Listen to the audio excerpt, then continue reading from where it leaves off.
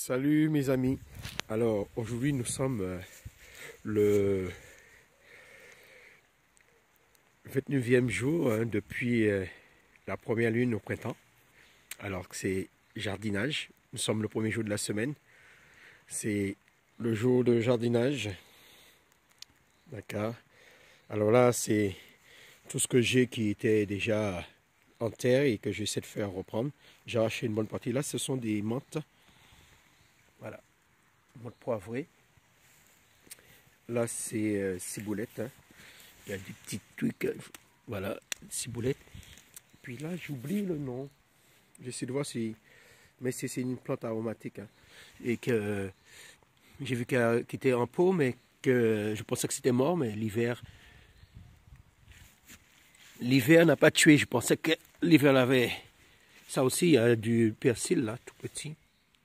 Mais je vois qu'il y a un petit peu euh, vert. je plante, hein, je voir avec l'eau. Alors là, j'ai profité. Vous voyez comment la terre est. Pour écraser un petit peu la terre.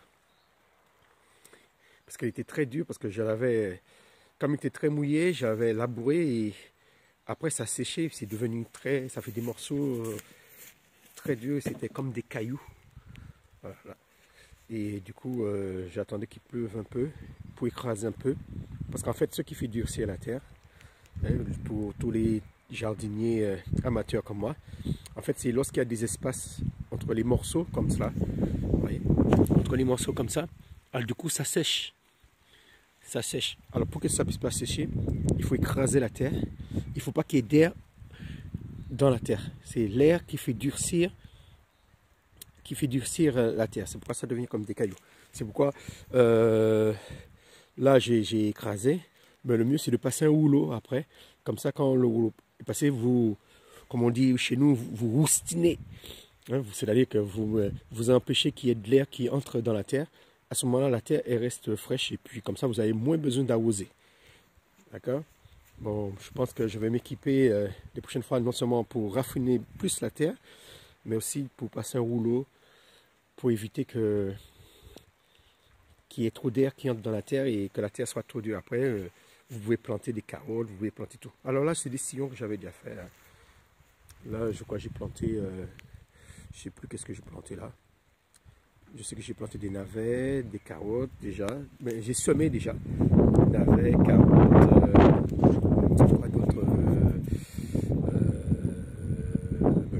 J'oublie radis. voilà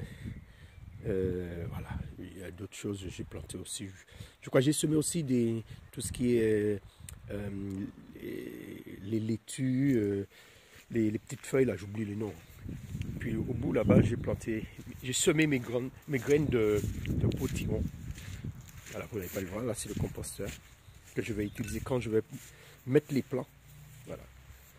Alors les plants, je les mets, comme on dit, on attend la Sainte Glace, c'est vers le 15 vers le 15 mai. Mais je voulais vous parler surtout euh, de la Lune. Je vous ai dit, nous sommes le 28e jour de la Lune, qui veut dire on est la Lune décroissante.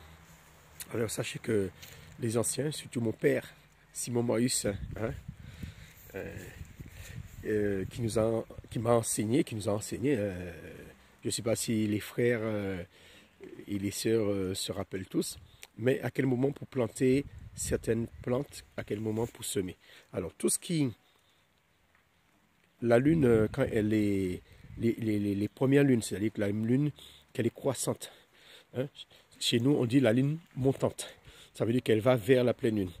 Avec tout ce qui pousse hors du sol, tout ce qui, par exemple, vous voulez planter un, euh,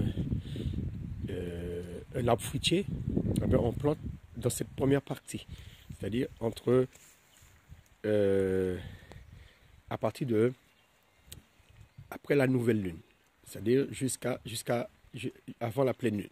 Tout ce qui, par exemple, vous voulez euh, un arbre fruitier puisse pousser vite, ou un arbuste puisse pousser vite, vous plantez ça à ce moment-là. Alors tout ce qui est pleine lune, ce sont des, comment dire, tout ce que vous voulez qu'il soit touffu.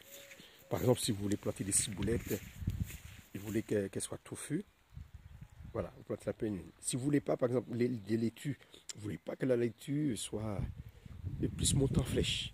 Vous plantez à la pleine lune. Hein, pour qu'elle puisse monter moins vite en flèche. Hein. On sait qu'on a beaucoup ce problème lorsqu'il pleut beaucoup. Euh, ça permet que, euh, c'est ce que les anciens disent, hein. bon, euh, mais on sait que la lune a un effet sur, sur, sur la nature, sur la mer. et les anciens disent, plante en fonction du calendrier lunisolaire. C'est-à-dire qu'ils tiennent compte des saisons, mais aussi en, fonction de la lune. Voilà. Et puis, bon, là, vous avez des, framboises. Ceux-là, je ai, les ai pas plantés. Hein. Je les ai, euh, chaque année, ça repousse. Je coupe. Je coupe euh, en automne. D'accord. Chaque, euh, dès qu'elle a fini de donner ses fruits, je coupe les branches. Hein, parce que c'est un petit peu embarrassant. Et puis au printemps, ça repousse. Et les branches, je, je, mets à sécher et je sers dans le barbecue pour faire, du boucané. Hein, pour faire boucaner ma viande ou mon poisson. Voilà. Voilà, voilà, voilà.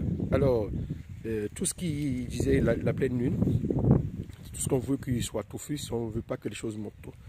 Par contre, la lune décroissante, nous appelons ça aux Antilles la lune descendante.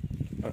Pourquoi je vous dis descendante? Parce que comme ça, ça vous permet de tout ce que vous voulez. Par exemple, vous voulez des grandes, des grandes comment dire, euh, des grandes, des légumes vous voulez des légumes qui soient qui, qui, descendent en profondeur, comme des carottes, des tomates, des, euh, voilà, tout ce qui est légumes, euh, les ignames, euh, du manioc, les légumes qui, vont, poussent dans la terre. On plante ça la lune décroissante. Alors, comment reconnaître la lune croissante et la lune décroissante? Par exemple, nous qui sommes dans l'hémisphère nord, vous imaginez un dé quand vous voyez un quart de lune ou vous voyez euh, un croissant de lune, vous imaginez un D, et à ce moment-là, quand c'est D, ça veut dire dernier, c'est descendant.